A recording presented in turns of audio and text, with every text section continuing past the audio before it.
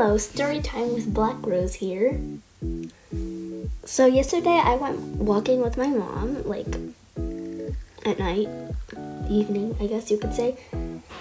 And sorry for the background noise. And while we were like going back home, like on the way back home, we saw a cat-looking creature.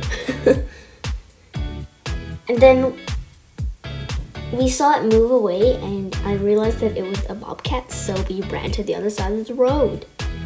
And then, here's the cherry on top. There was a lady screaming, screaming, screaming, looking for a bobcat. Um, yeah. And there was a bunny on the side of the road that was not affected at all by this whatsoever.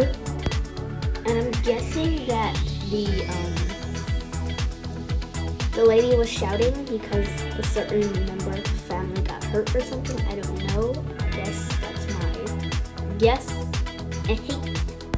and that is it for Storytime with Black Rose. I know that was a really bad story, but oh well.